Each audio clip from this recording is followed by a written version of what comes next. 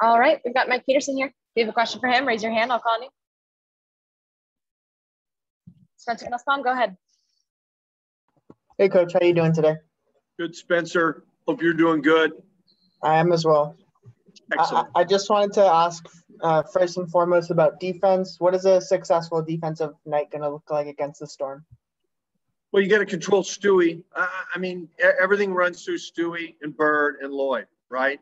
So you've got to find a way to control those three, and it's not easy to do because almost no one ever does it. So, you know, you know, for us, it's about dictating shots, and when we can dictate the shots that other teams take, uh, then we're in pretty good shape. I thought we did a very good job of that in the last game against New York. I thought we did a good job of dictating the shots they took for the most part.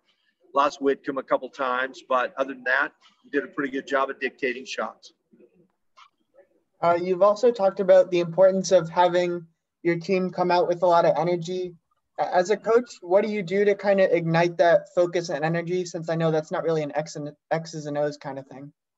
Yeah, it, it's not, but and it's also a thing that that is mostly player driven. I mean, I'm not going to get in there and give a rah rah speech. Uh, that's not how this works, right? My job is to point it out. It's always something we go over before the game. It's always something we talk about, and then that's a that's a player leadership thing, right?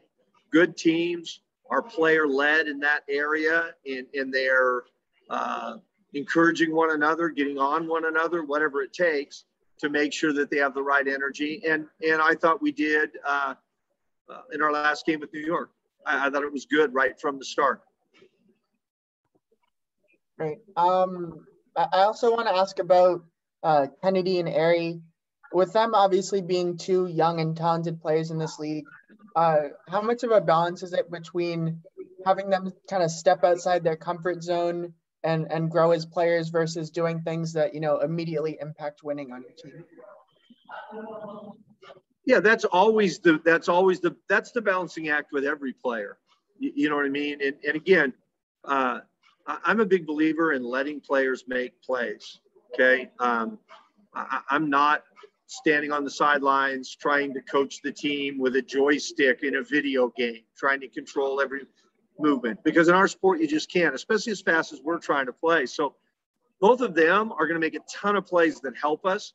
And at the pace we're playing and at the aggressiveness level that we're asking our guards to play with, mistakes are going to get made.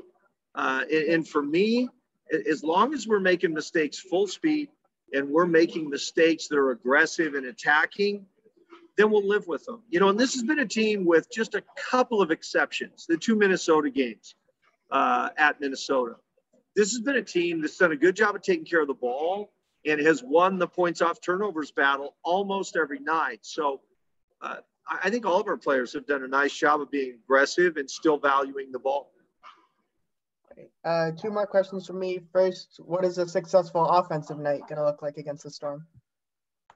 Yeah, they're very good on the first side. So you've got to change sides of the floor, right? So they're hard unless you're in transition. They're very hard to score against on the first side. They really load up and they ice ball screens and they do all manner of stuff to really defend the first side. So you better get to the second side a lot. And then for us, we've got to be in transition. I mean, this is the number one, number two teams in our in our league in transition efficiency, Seattle and us. And so for us to be good on offense, we've got to be in transition. We've got to be playing in a broken court. We've got to be playing in an open court uh, so that, that we can create space to play in. All right. And then just last one from me. Oh, no, no, go ahead if you had something. Well, I was going to say that, that a good offensive team and a good offensive game and a good defensive game both look the same. They both involve us having more points than our opposition. How's that? That's a great quote. I'm happy I didn't interrupt you there. Um, this last one from me. Strick earlier today said she's feeling better than she was earlier in the season. Cheyenne obviously seems to be doing better. Um, outside of Tiffany Hayes, are your players essentially close to 100%? I think so. And I'm sorry for leaning in there. There's a lot of background noise.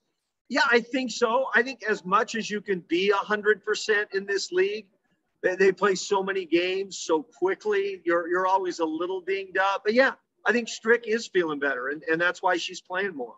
uh, and, and she'll play more tonight, right? Um, I, I think Cheyenne's starting to play her way into shape. And again, you know, the players that have come out of COVID protocol, very few of them just hit the ground running. You think back to last year, Courtney, Glory, Kalani, the three players we had in COVID protocol, it took them a long time to get going. Uh, Courtney will tell you that.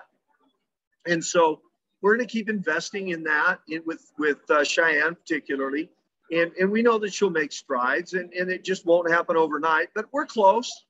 As close as any team is. Nobody's 100% in this league, but we're close. Last thing, can you give us some keys to beating Seattle tonight?